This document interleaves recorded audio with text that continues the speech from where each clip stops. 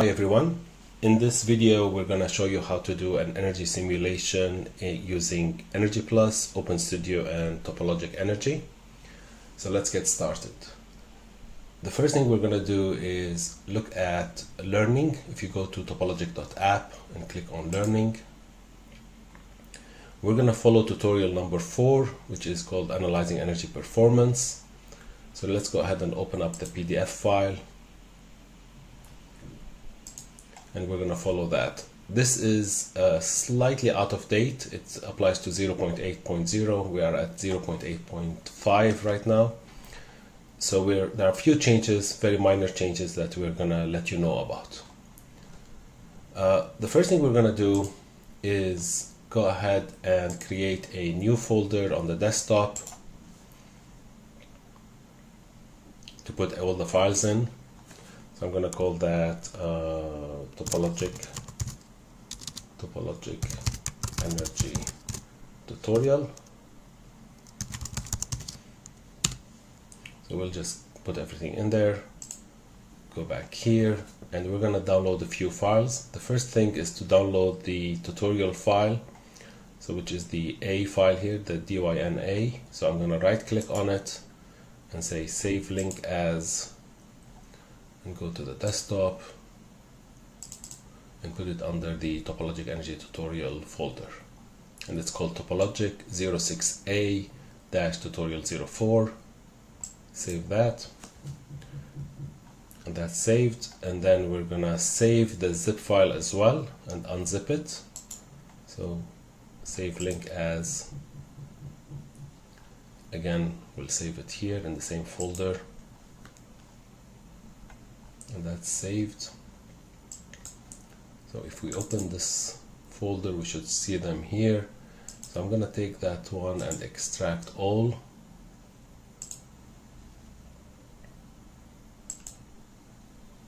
And that's all there. So we'll keep those around because these are the things that we will need. Great. So now we open up Dynamo. That will take a little bit of time so just be patient please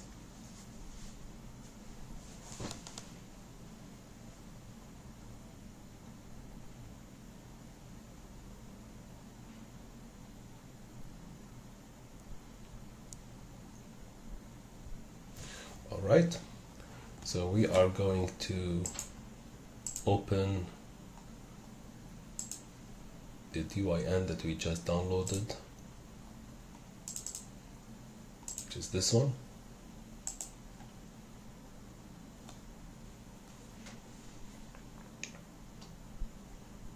Okay there it is.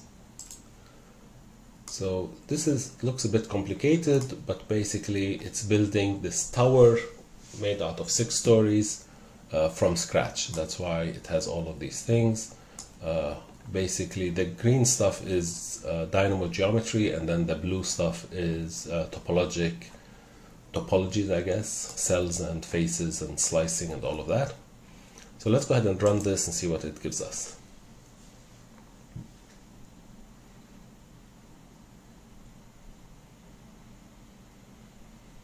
Okay so basically it's a tall building of some sort, six stories, and it also has uh, glazing on the outer surfaces indicated by these rectangles. Every story has four perimeter cells and then the whole building has one cell in the middle which is the uh, atrium as you can see here and that is not sliced by the uh, by the floors Great. So you can follow these if you would like to figure out how this was done. Uh, basically making uh, surfaces and apertures and applying them. And the final step before displaying, these are all for display here, is that we add the apertures to the cell complex and we get here at the end is a ready to go cell complex. This is our building that we will feed. Alright, so we will follow this tutorial uh, right here and we'll do a few changes to it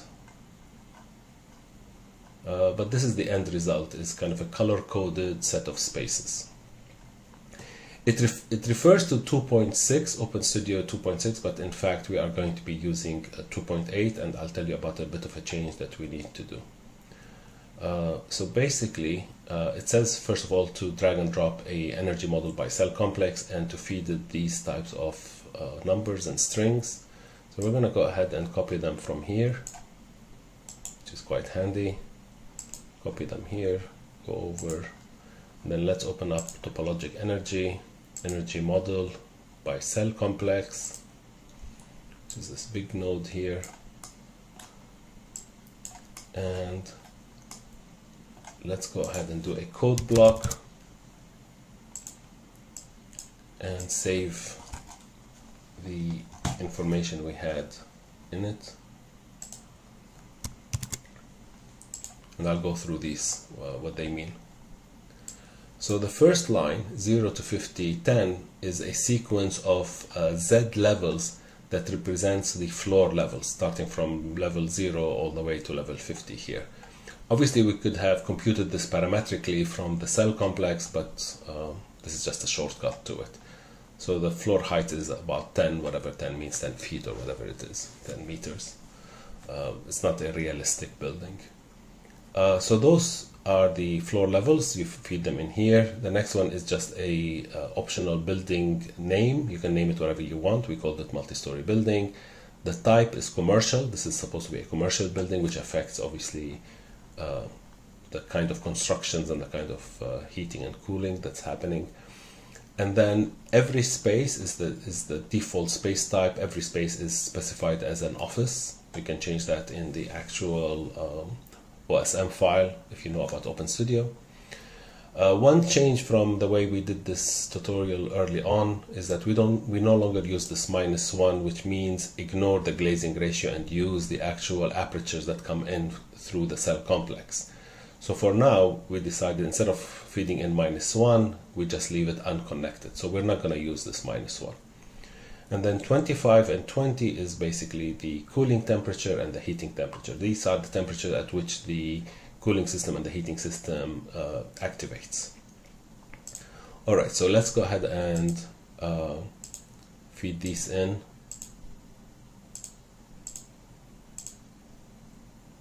As I said, leave the glazing ratio uh, unconnected, just connect the cooling temperatures and the heating temperatures and we'll go through the other stuff. The building, the first one, is the cell complex. So let's go ahead and bring in the cell complex and connect it. And if you have a cluster of faces that are triangles, you can use them as shading surfaces. So you can put surfaces or faces around this building in order for them to cast a shadow on it. Uh, but we don't have that for now, so we can leave that alone for now. All right, so at the bottom we need three more things the weather file, the design day uh, file path, and the Open Studio template path. Those are uh, these files here that we have downloaded. So let's go ahead and point those. So we need a file path.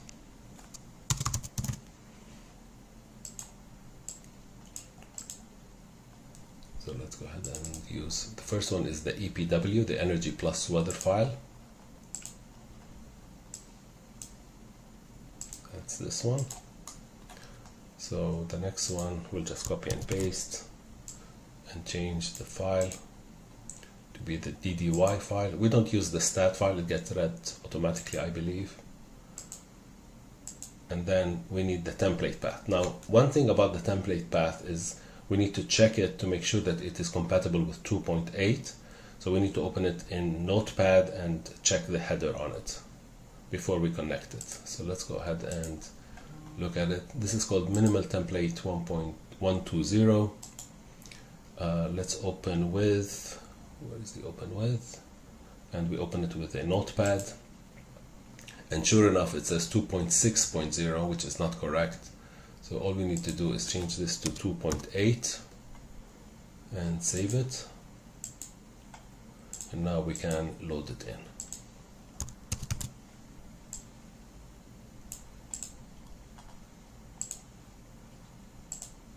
We'll try to update the files and the tutorials soon on the website.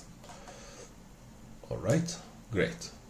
So this will create an energy model, doesn't run the simulation yet, but just creates the energy model ready for the simulation. So we're gonna run it one time just to check that everything is correct. Yep, run is complete and we have a topologic energy energy model. So the next step is to run an energy simulation. So there's one method here called energy simulation by energy model. All right, so we feed it the energy model and then we need to feed it the studio the open studio exe file and the where do we want to save the output. So let's start with the output first. Let's go over here and go up one level and let's create a new folder. Because there's going to be a lot of files. Might as well put them in a folder. We're going to call that output. And we'll use that here. Alright so first file path and you need to have uh, 2.8 so we need to go to uh, C drive Open Studio 2.8.0 bin and then here you'll find an openstudio.exe file. Do not use the OpenStudio app that's just the graphical user interface app. Uh, just open the openstudio.exe right feed that in Alright, so now we need the output directory. For that we use a directory path. This one. And we point it to the output. Where is that? Right here. Here it is, output.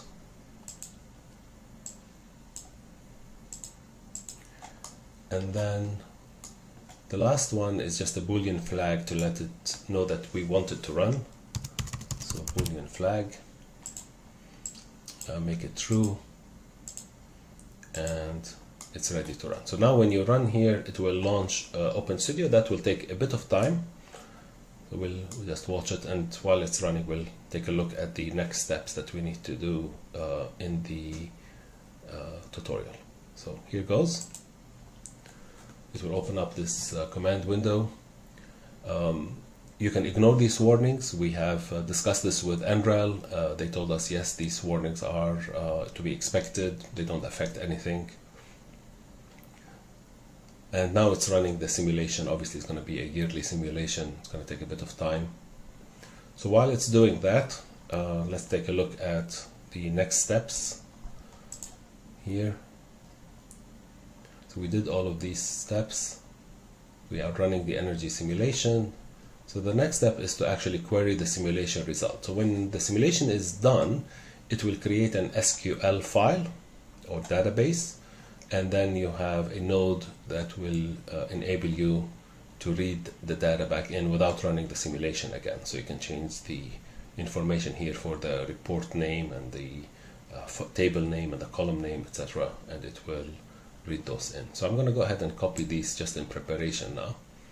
So this will get the cooling loads uh, that are in watts for the entire facility. I'm just going to go ahead and copy those. Alright, so this was actually completed, it didn't take too long. Uh, so let's go ahead and open up simulation result here. And the first one is by energy simulation. Zoom it in so that you can see it. Great. So we connect the energy simulation, we do a new code block, and we paste those strings in. And as I said, if you know Energy Plus, you can change those to whatever you want to get information out of the SQL file.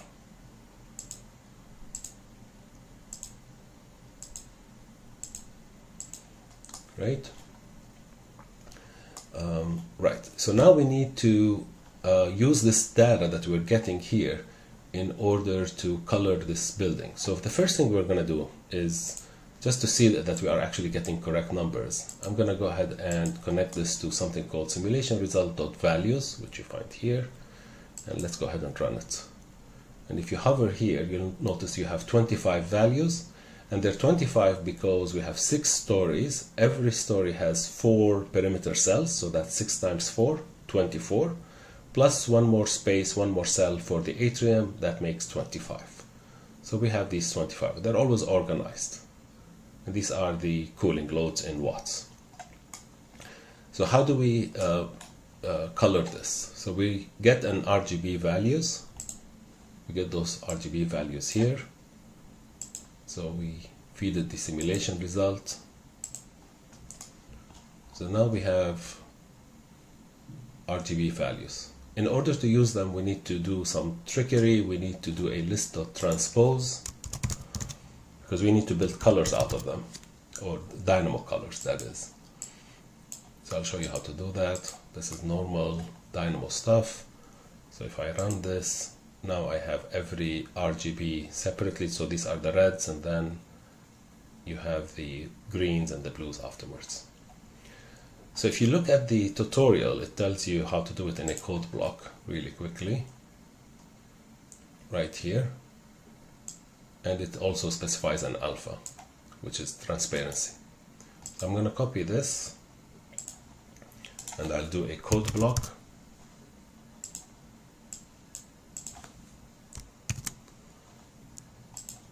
And it's expecting an RGB list, which is this one and now it will create the correct 25 reds, greens and blues. So now we can do a color by, R by ARGB.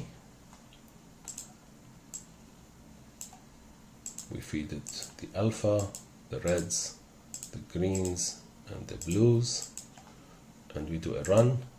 So now we have 25 colors, which is exactly what we want.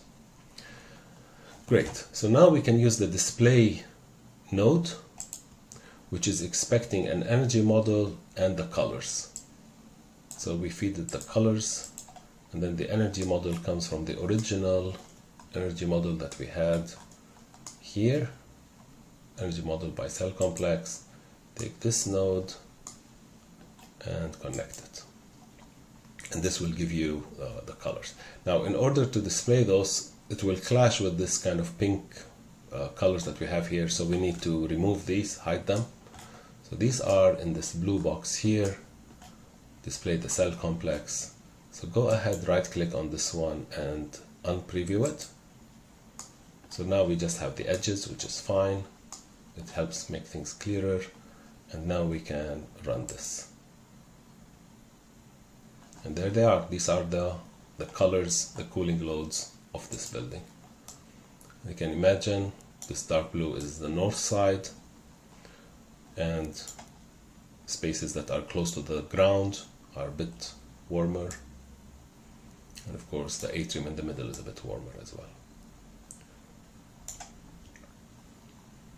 Now you can change if you want, as I said, if you know about uh, Energy Plus and SQL files, you can change these. So for example, let me try changing this to uh, heating heating loads.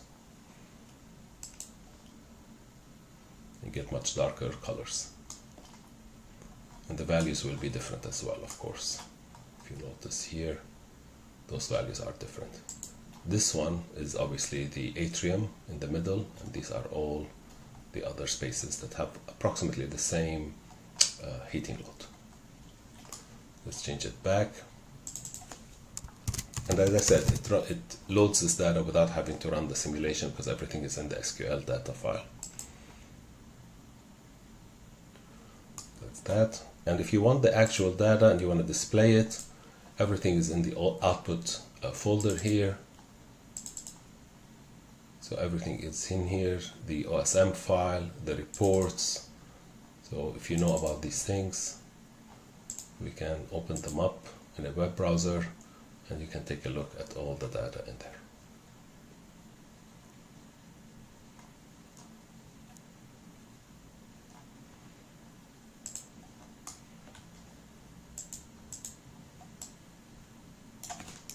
All right, thank you very much.